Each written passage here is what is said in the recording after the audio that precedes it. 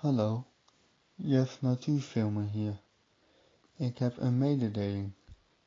Ik ga vanaf nu minder video's uploaden, want mijn camera, de Canon PowerShot SX540HS, geeft storingen in beeld tijdens het opnemen.